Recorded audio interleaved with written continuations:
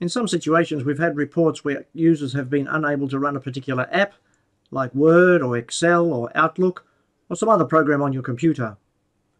One of the simple troubleshooting trips that, tips that you can do is to begin by right-clicking on the taskbar and left-click on Task Manager.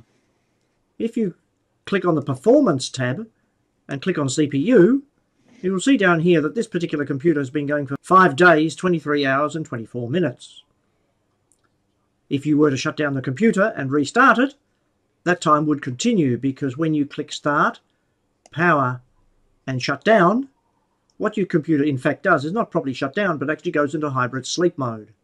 In order to reset the time that your computer has been running and do a complete restart, click Restart. And once you've restarted your computer, you'll see that the Task Manager here will have reset back to zero. After your computer has restarted, try starting your app like Outlook or some other program again that's causing you a problem. And if it's still not starting or there's a problem, then perhaps give Classic IT support a call and we will connect in remotely by TeamViewer and we'll be glad to assist you.